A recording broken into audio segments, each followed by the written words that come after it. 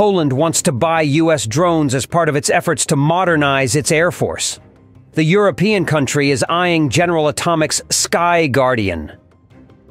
Poland wants to buy MQ-9B Sky Guardian medium-altitude long-range drones. They will perform reconnaissance missions on the eastern border. Now these tasks are put on the wings of the MQ-9A, the agreement will be signed in the coming weeks. The details of the upcoming contract are not specified, but it is known that Poland will purchase a small number of American drones.